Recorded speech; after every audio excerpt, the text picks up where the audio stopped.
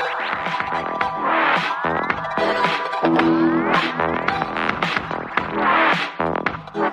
Dewan Pimpinan Cabang DPC Partai Demokrat Kota Cimahi mengusulkan tiga nama kepada DPP Partai Demokrat untuk ditetapkan sebagai salah satu pimpinan di DPRD Kota Cimahi. Hal itu disampaikan Ketua DPC Partai Demokrat Kota Cimahi Agung Budi Santoso di sela tasakuri binikmah terpilihnya kembali Agung Budi Santoso sebagai anggota DPR RI periode 2019-2024.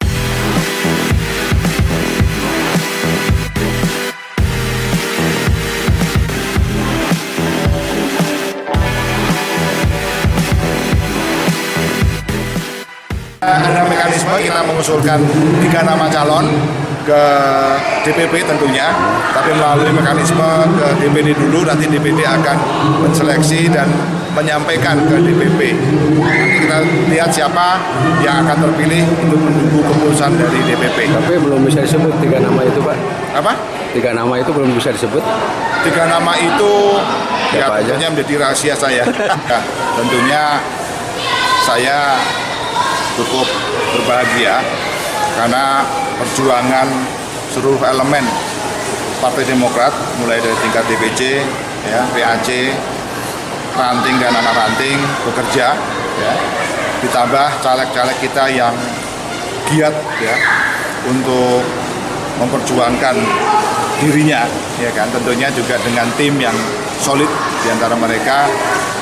Ya inilah hasilnya ya. Partai Demokrat Kota Cimahi menjadi peringkat keempat perolehan suaranya dan enam anggota DPRD yang bisa kita eh, tugaskan ke DPRD Kota Cimahi serta kita juga alhamdulillah mendapatkan satu pimpinan dewan.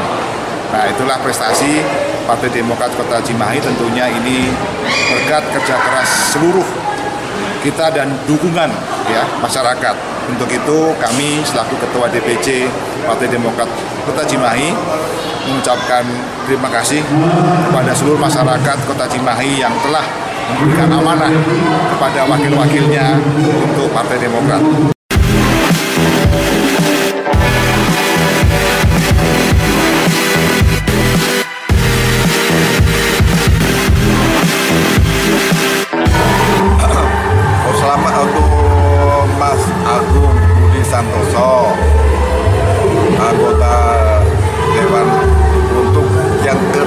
Kalinya. Selamat untuk Mas Agung Budi Santoso yang berangkat dari Jabar 1, Kota Bandung, dan Kota Cimahi.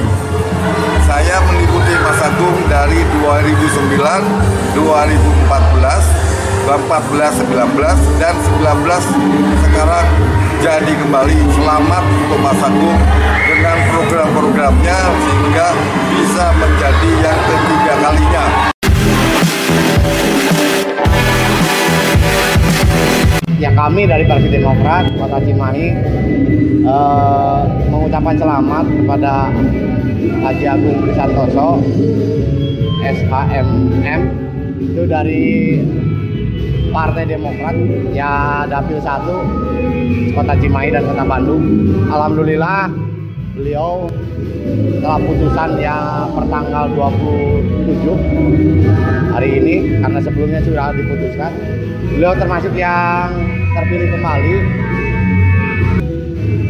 Eh, kaitan dengan beliau duduknya sebagai ketua DPC karena beliau juga adalah ketua DPC Kota Cimahi.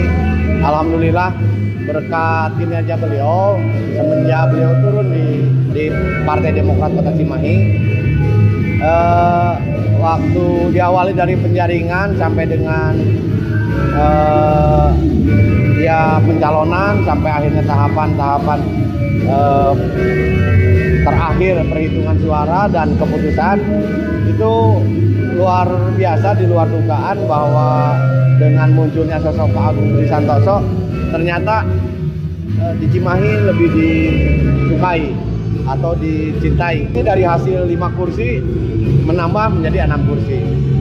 Itu tidak tidak luput dari sentuhan beliau. Dalam momen ini adalah momen tasakur binikmah kaitan dengan pemenangan Pak Agung Santoso juga dibarengin dengan kegiatan halal bihalal dengan para kader, para tim pendukung. Kami berharap Demokrat Cimahi terus dan terus makin membesar.